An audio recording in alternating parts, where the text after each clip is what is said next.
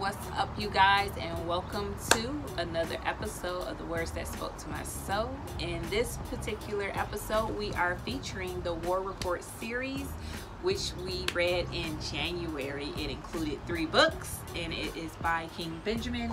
Now books one and two um, are these here. Uh, book three was only available in the ebook, ebook form, so that's how I read that one. You know, I am a fan of books. I love to turn the pages, and I might want to take some notes and highlight or whatever else. So, if I can get the actual paperback or hardcover, that's what I always try to do. Um, so, uh, I have books one and two here. So, uh, you know this is basically a vendetta story um, and it, it, takes three books to kind of resolve everything um, you know mercedes j and uh, excuse me um, mercedes j and um, Michelle Mitchell. They, though, you know, that's the main storyline. And then I don't know if I'm pronouncing her name right or not, but this is how I would think it would um, be pronounced, but Oshua and um, you know her dude who is the uh, secondary um, you know love story in the person that the um, vendetta uh, is against Bones. You know you have those, and there are, are some you know other members within the crews that uh, play a major role in the story. But those are the two parallel love stories that happen throughout books one through three. And um, you know, you you got to read the series to know what actually happens. Like you know, I always try to get you to want to read the book if you haven't read it yet, because again, when you give a book review, it should be to get the person interested in reading the book or disinterested if you didn't like the book. Um, but that wasn't the case here with this uh, particular series. Uh, King Benjamin uh, did an awesome job, and one of the things that I uh, I haven't noticed before in any of the books I've previously read, or at least I can't remember, that he stops, you know, in certain sections of book one and two and gives his personal perspective as the author. And I thought that was kind of cool. That's something I had, hadn't ever, um, you know, noticed before. I keep scratching my nose, so a little hair is keep uh, tickling my nose, so I apologize. But, um, you know, I thought that was kind of cool that he's, you know, be read, he gives his perspective. Because sometimes I have been reading a book and I'm like, man, I really wonder why they did this or, you know, what made them think this or whatever else. So to give their kind of take on how they're developing the story and the characters, I thought that was kind of cool. So, yeah, I like that. but um, as far as what spoke to my soul in book one, ultimately it, it is... Um, you know, this whole goodness versus badness it is not determined necessarily by the actions that you take or things that you do. And I say this because what really matters, in my opinion, is a person's intent. If you have a pure intent, I can understand why people make some choices and decisions, especially if it's, you know, for the sake of their family, to feed their, their family, their wife, their kids, or whoever else, or, you know, to get out of a bad situation that they didn't put themselves in. You know, your intent matters. So that doesn't determine if you're a good person or a bad person, in my opinion, because I don't know your story. And so I try not to judge because I'm not in that situation. And if I was in that situation, perhaps I would have done the same thing. So that was um, what mainly spoke to my soul out of book one. Now, as far as book two, it would be to remain true to yourself and your path and not to allow negativity to deter you from that path. And I say this because um, on both um, uh, Jay's part and Michelle's part, they had all these this negativity coming at them when they were trying to make different life choices and decisions or whatever else. And you have to remember, it's not their life; it's your life. So if you're comfortable with making that choice and that decision, stay committed to it. Don't let anyone deter you. Now, I'm not saying don't get advice or counseling or anything like that, but ultimately, it's your choice. If you can live with that choice go ahead and do so. Don't let anyone stop you from staying on your path. Um, I, again, both Jay and Michelle had to deal with that, and um, you know, you should just try not to. The second thing that um, spoke to my soul in book number two was the fact that you should never settle. And to under, I, I don't think people understand that there's a difference between settling and compromising. No one is ever going to find that person that you know matches every little checkpoint that they have and created in their head of um, what they want.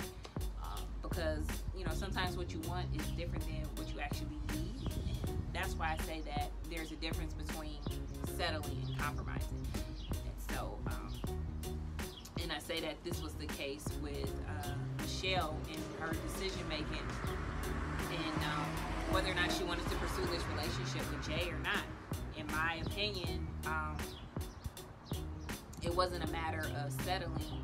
It was more so of a compromise and for them to have an honest talk of the life paths they both were on and if those paths were going to line up and become parallel or if they were separated. So um, that's why I say that that spoke to my soul because she went back and forth, back and forth because his actions were proving that he was trying to do what he said he was trying to do. It's just, you know, it's not easy. so um, that's why I say never settle, but um, definitely as a person living in uh, the real world, you need to learn how to make compromises so that you both get what you're looking to get and accomplish. Um, now, as far as book three, I would say to never give up. And I say this mostly because Jay not only did this in his personal life, but even in his business life.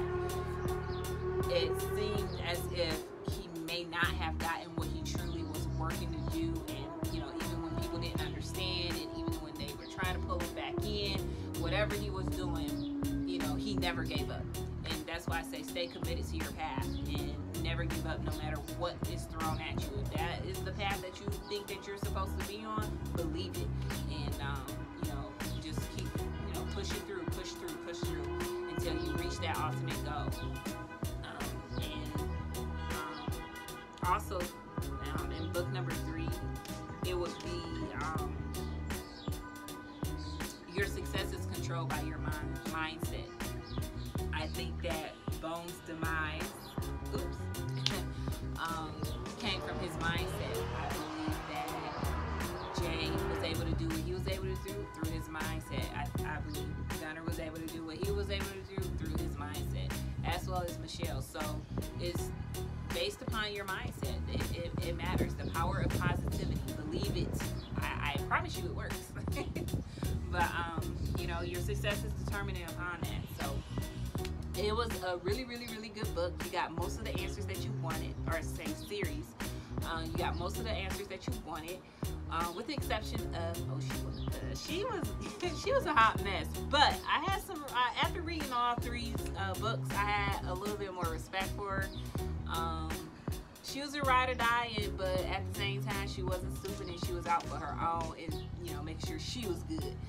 Um, but never fear, uh, King Benjamin does have a spin-off book for her, um, and it's called uh, Oshua, a war report story. So if you want to know what happens next, um, I think you should probably cop that one. I don't know. I haven't got it yet. Um, it is on my to be read list. It's an ever-growing list. I have like over 200 books on there. But hey, if I'm reading five plus books a month, I might be able to get it down. Nah. my husband's trying to look. Don't pay him no attention. But that's okay. It's nothing wrong with wanting to continue to read, especially for a person like me, because I don't. Gone somewhere. Because I don't even watch TV um, that much anymore. If I do, it's usually just YouTube or whatever my kids are watching, which is usually Blippi. But yeah, so it's nothing wrong with having a never-ending reading list. That's how you remain sharp and educated and enlightened. he doesn't agree. But as always, happy reading and I will catch you guys next time. I'm officially caught up. Woo, woo.